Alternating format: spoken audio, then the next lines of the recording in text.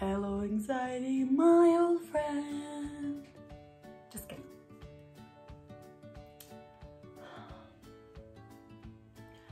For the love of God, for the love of God, I got ready to go absolutely nowhere. I should totally singer. Are you ready? Are you ready? Are you ready? Oh, I'm ready. Are you ready? Oh, I'm ready. Are you ready? Okay, stop it. Anywho. Hello, E Squad, and welcome back to my channel. Um, today I have a new video prepared for you guys. Uh, this one is once again going to be um, a bit more of a let's just sit down, have a chit chat, let's talk about some topics, let's get this channel a bit more spicy because I feel like that's what it's lacking a bit of. So I have seen this video um, going around on YouTube. Uh, mostly, of course, couple do it. Um, but since I'm not a couple, I'm a single. Um, there's no addition to me. Um, so I'm just gonna do this video by myself. I'm gonna ask the questions by myself. But this is basically one of those videos, um, just in case if you've ever um, like seen it anywhere. It's mostly the questions where girls will ask their boyfriend the questions that girls are usually too afraid to ask boys and vice versa. So boys will ask their girlfriend the questions that boys are usually too afraid to ask, if that makes sense. I hope I explained it correctly and well um, for you to understand. I've already have uh, the questions written down. Where I found the questions, you may ask? Well, I, um, as bored as I am, I watched a couple of these videos and uh, the questions seemed pretty interesting to me. So I was like, you know what?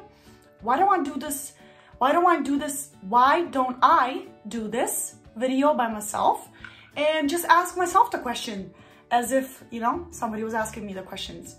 But nevertheless, so I'm going to be answering questions that usually guys are too afraid to ask girls. Does that make sense? Are you following or not?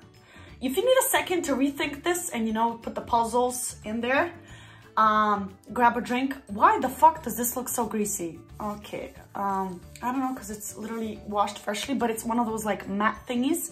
And then when it, wherever you touch it, it's um, it leaves a stain. By the way, this is from Starbucks. I am absolutely obsessed with this cup. I got this um, back in the day, you know, when I was in Canada. And I got this and I always drink just like random stuff out of it. I, I I'm sure it's meant for like coffee and things, but I just use it for juice. Is that stupid? I don't know. Anyway, Yep, a lipstick stain. Anyway, we're gonna just dive right into it. I'm gonna read the first question. So the first question is, sorry. On a first date, would you order a salad or a cheeseburger? So I think this question is just based on like, would you order a salad or would you actually order like what you want to eat? So um, first of all, I'm not really big on salads. Um, the only salad that I kind of eat is the Caesar salad and that's just about it. Um, I do have like a side salad, like on a side of different dishes, but like just to get a salad is not really my thing. Um, if I do, like I said, I get a Caesar salad. But uh, anyway, to not, to not complicate this question and to answer it, um, if I was on a first date and if I wanted to eat something else, but I would be afraid to like I don't know, seem like I like food. Like I'm just not that type of person. Like I'll order what I actually want to eat. I do kind of just make sure that when I'm on a first date, just because it's a first date, like you don't want to seem messy, if that makes sense. So I'll just order, for example, like I love pasta bolognese, like I love spaghetti, but I'm not sure that's like a first date kind of thing because the spaghetti might get all over you. You get like stains on your shirt and it just makes you look look messy, especially because I'm one of those people that like, if you eat spaghetti with like a, like a spoon and a fork, I'm not that kind of person. Like, I'm sorry, I'm just not. Spaghetti to me is like a fun food, you know? Like, and I don't, I don't, I don't do the spoon and the fork thingy. I just eat it with a fork. I like to get messy. I like to get sauce all over my mouth. And um, therefore, I feel like spaghetti is not a good option um, for a first date. So I would order something I eat, but let's just say like not spaghetti. Like perhaps I would get, I don't know, a pizza or Like I, I can't even think of anything else. I'll just order something that is not as messy, if that makes any sense. But I do know girls um, that are like this that will be like, oh, no, no, no. I don't want to seem like I love food, like on a first date. Like, I don't know why you're trying to make him look like you don't like food. Like, if you are somebody that's a foodie, just show off the fact that you like food. Like, I don't understand why is that a bad thing. So I would definitely order whatever the hell I want to eat. Anyway, that was too long for a first question. Uh, I'm gonna continue. Second question is, what is the first thing you notice on a guy? So obviously, um, let's put it this way. Usually the guys that you, okay, I'm gonna rephrase this question. So let's say if I don't know the person from before, like if it's not a friend or if it's not somebody that I've known from a friend or whatever. So let's say this is a person I'm meeting for the first time. Usually the things that I will notice is just up, like I'm gonna keep it simple. I'm gonna notice his looks. Like obviously if I don't know the guy, the first thing that I'm gonna see uh, is his looks. So what I usually like to look at is how, like how much effort he put, I don't know, maybe in his outfit. Like I don't expect you to make miracles, but like, I don't want you to come, I don't know, on a first date in like, I don't know, swimming shorts and a t-shirt, you know, like I wanna see that you put effort into the outfit. Um, and usually the thing that I notice first is the eyes, um, the smile, and this is gonna maybe seem a bit weird, but I like when I notice that somebody smells good. So if somebody comes on a date with me and like, I don't know, like he'll be like, hi, you know, like give you a hug or whatever. If he smells good, bro, you don't even have to open your mouth. You already scored like 20 points out of 100. Because if a guy smells good, that to me is just like such a turn on and it has always been and i feel like so many girls at least my girlfriends we always talk about this and they always be like oh my god yes like the smell is so important so i feel like if you choose um, the right perfume that's definitely um you know a good a good um a good first impression and um i mean it goes vice versa like girls have to smell nice too i'm just saying anyway um yeah so that would be like the eyes smile and yeah, the smell, that's pretty much it. Um, the next question, the next question, so question number three is, can guys have a girl's best friend? So to be honest, when I was younger, my answer was always no, like this is not an option. I don't think this works. But I do honestly feel like it depends on the guy and it depends on the friend. Like if this is a friend that you've had literally, I don't know, from your childhood and you guys have been literally like family, like best friends, like always sharing birthdays and Christmases and I don't know, Halloween's, uh, just stuff like that. And if you never ever like felt anything more than that and you guys just kind of remained friends, I don't have a problem with that. But um, I just feel like it, it does become a problem if this is a person that like, I don't know, like your family doesn't know, I mean his family, right? So if his family doesn't know this girl or if like you find out about her, I don't know, after three years, you guys have already been together. Like if she's your best friend, I think you're gonna mentor her at some point. Like you can't just come up after three years and be like, uh, three? Okay, it's three. Um, after three years and be like, oh, by the way, I have a girl best friend and her name is, and you're like, who the fuck is this? Like, you should talk about her before. Um, but I don't think, I don't think that's such a big deal anymore because for, for me, honestly, I'm also one of those girls that like in elementary school, and not in high school so much, but like elementary for sure, most of my friends were actually boys. Like I always used to hang out with boys just because, I don't know, like they, they don't talk back as much. They don't, they don't talk about you as much and they don't, they just don't care about certain stuff at that age. And I, I, I don't know, I, I, I enjoyed their company. Um, so I feel like that is possible, but it honestly like depends on the situation. Um, because I've already, like I've had a case where one of my exes, he had um, a girl best friend that was like his best friend literally like i said since they were literally like children. And therefore like why would i mind? Like their families know each other. Like they're actual best friends. Like they'll have jokes. Like they share stuff but like she knew about me. I knew about her. Like it wasn't awkward or anything like that. Just because I don't know, even when I met her, she kind of gave, gave off that feeling like they were brother and sister. Like they just really got along. And I don't know, I didn't mind that um, relationship. To answer that question. Anyway, to continue, uh, why do you girls never go alone to the bathroom? Oh my God, this is literally like the conversation that I had recently with one of my, one of my best friends. Nika, shout out to you. We just talked about this recently, how in high school, like there was five of us that used to hang out all the time. And when I tell you that every single break, like one of us would be like, uh, I have to go pee. Who else has to go pee? Like we would never go pee alone. And I don't really know why, but like we somehow would always use the opportunity. Like if one of us had to pee, the other one would just go, I don't know, to check her face, like to see if makeup is all good. Maybe, I don't know, wipe her nose or just, I don't know, put, like retouch the lipstick. Like we would just find a reason to go to the bathroom. And I don't know, to be honest, I don't know why that happens, but um, literally since forever, I never go to bathrooms alone. Except if I'm actually alone, then obviously like who's gonna go with you? And I do have one suggestion. My mom always used to tell me this when I was growing up, when I was becoming a teenager, and it was kind of obvious that I was gonna start going out and going to the clubs and things like that. My mom always used to tell me two rules. Rule number one, and this is so true. So rule number one was wherever, what, like whatever drink you get, if you have a drink, and like let's say you're not finished with the drink, but you have to go pee like really, really bad. My mom always said, don't save the money, don't let the drink like, don't leave the drink on the bar and be like, oh, I'm gonna come back to it. You never know what somebody, like, I'm sorry, but unfortunately, this is the world we live in. You never know what somebody could actually put in that drink. You could come back and think like, oh, you know, like no, nobody did nothing to my drink, but you don't know, like you weren't there. So my mom always used to tell me either spill the drink or when you come back, just get a new drink. Like it's just not worth it. It's a drink, so don't save money on like drinks just to, cause you never know. And it's better to be like safe than sorry, you know? Like I'll, I'll rather get a new drink it's not that big of a deal than just to like drink something and then God knows like things happen like in these stories never end well. So uh, that was rule, rule number one. And then rule number two was always like, if you have to go pee, make sure somebody goes with you. And I was always like, why? And my mom always used to say, well, you never know. Like you might get sick in the bathroom. You might need to throw up. You might need tissues and you don't have them with you. And your girlfriend that was outside has them in her purse. So how the hell are you going to call her to come in the bathroom? Because it's loud and people don't hear their phones and blah, blah, blah.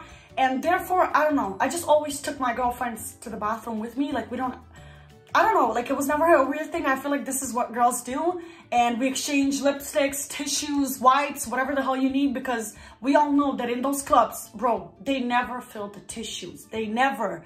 And I'm a wipe and go kind of girl. So therefore, you gotta have your girls, right?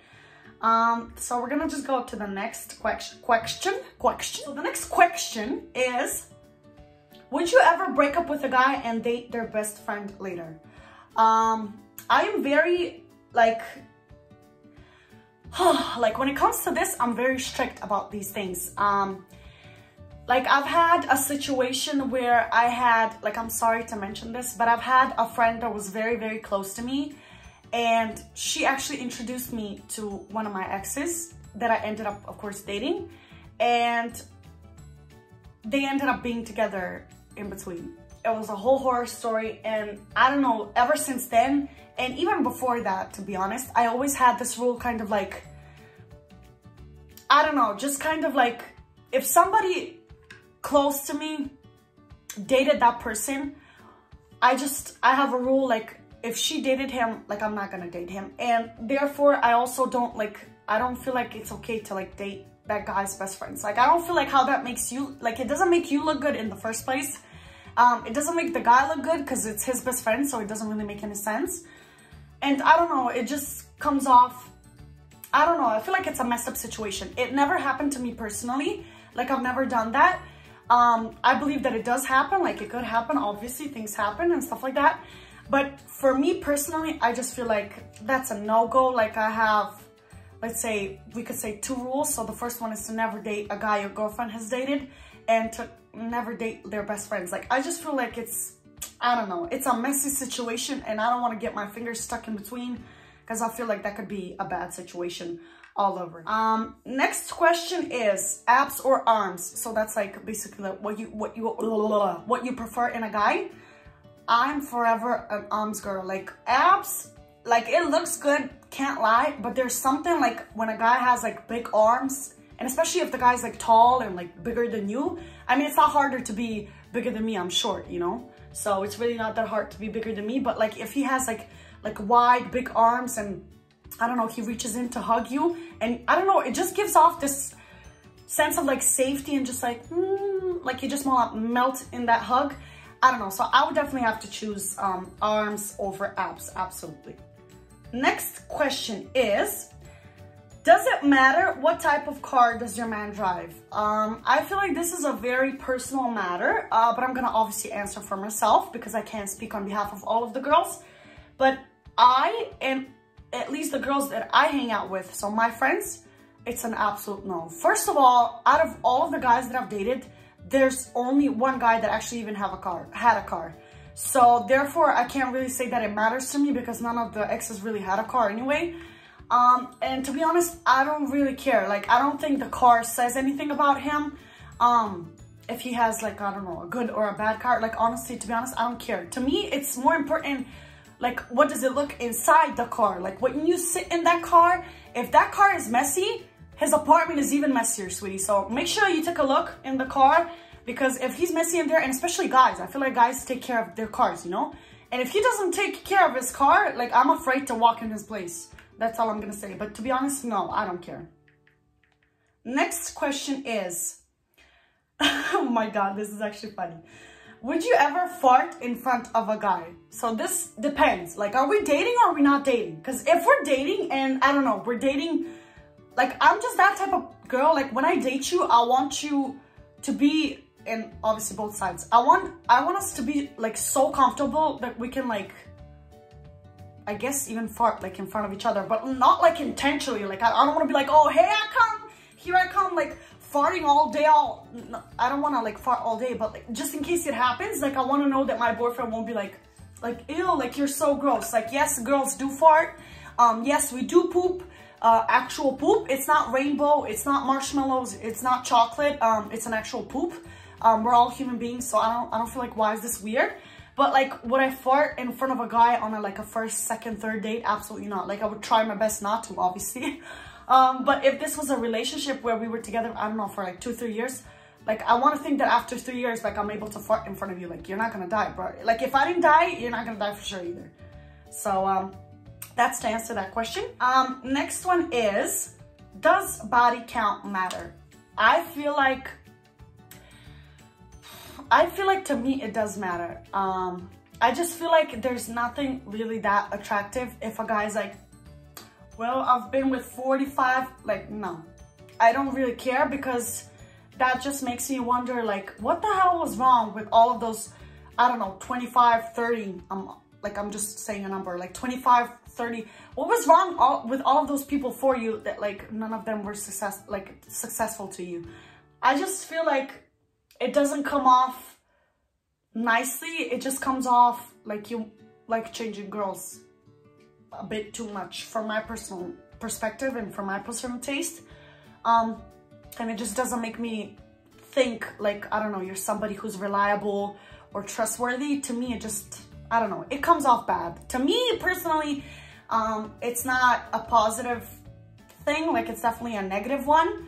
Um, but it doesn't have to like specifically mean for every single guy. So let's say not all the guys are the same. So like one person could have 30 girlfriends and be an absolute asshole, but then another one could also have 30 exes, but he he's actually a good guy. He just didn't have any luck. So we can't put them all in the same bin, but I definitely would say that it comes off as a bad thing for sure.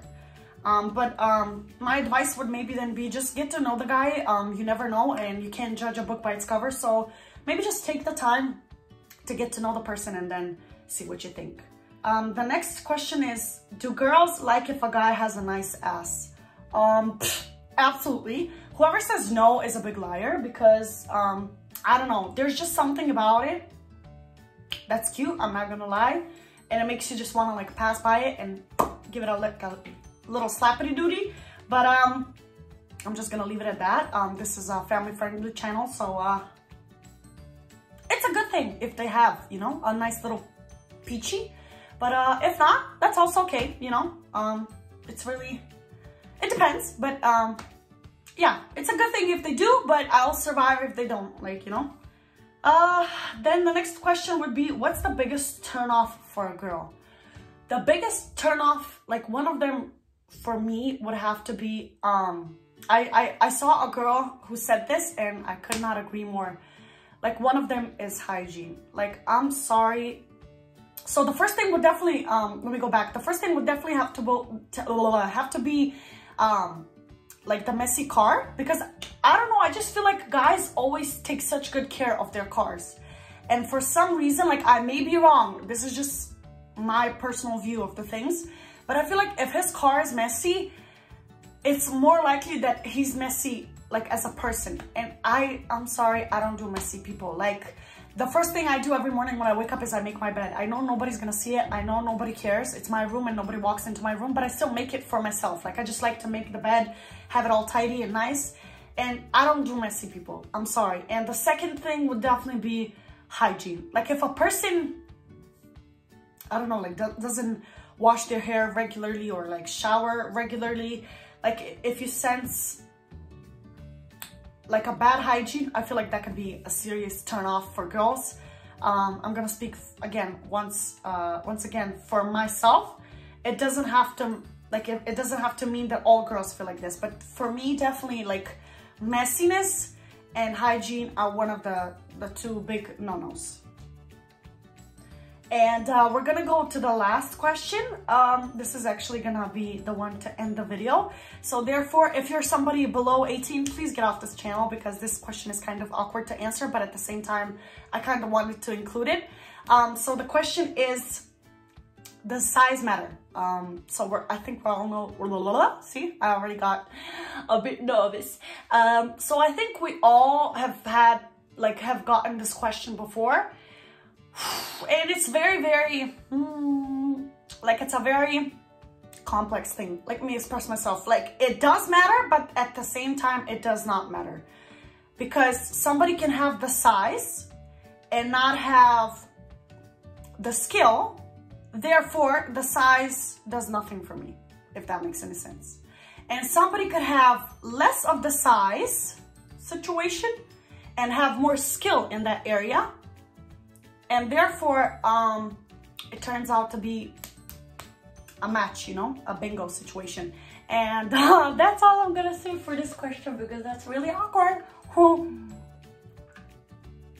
okay, I just spilled on myself, but um, yeah, this is going to be for this, uh, this is going to be it for this video. I hope you guys enjoyed it. I hope I wasn't boring for you guys. And uh, if you did enjoy this video, don't forget to give it a thumbs up. Comment down below which question was your favorite one or which answer was your favorite one. I always love, love, love reading you guys' comment and I absolutely reply every single time. So comment down below, don't be a stranger. And also, if you haven't yet subscribed, make sure you do because I'm trying to reach 1K subscribers until the end of this year. And I am literally, I think, 32 people away. So let's get this all together. 30 people 32 people is not a lot, so help me out, please. Share this channel, share this video. Help me out so we get to 1K subscribers. If we do, I'm gonna do a bit of a bigger giveaway um, at the end of this year, just um, to kind of thank you all. Um, because I am very grateful for all of you guys. I do this for my own entertainment, but for yours as well. And um, I don't know, I just hope you like having me here on this um, YouTube platform because I sure as hell um, love, enjoy, love and enjoy making um, the content for you. I love you guys so, so, so much. Make sure you stay safe. Um, stay with your loved ones. Uh, have fun. Take care of yourself and I will see you in my next video. Bye-bye, my loves.